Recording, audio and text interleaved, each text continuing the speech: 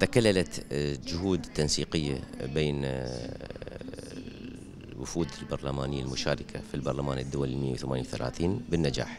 بعد الفوز الذي آه، تحقق بالأمس بشأن البند الطارئ بتداعيات آه، قضية القدس وقرار الإدارة الأمريكية حيث آه، تقدمت الأصوات المجموعة العربية والإسلامية وحازت على أغلب الأصوات وتم اعتماد مشروع البند الطارئ الذي تقدمت به كل من مملكة البحرين الشقيقة ودولة فلسطين ودولة الكويت الشقيقة وجمهورية تركيا.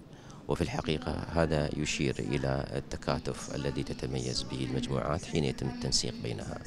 وقد شارك المجلس الوطني الاتحادي بالشعب البرلمانية والأعضاء الموجودين بالتنسيق هذا والحمد لله رب العالمين. آه، نتمنى أن ينتج عن آه، القرار هذا واعتماده غدا إن شاء الله إذا تم.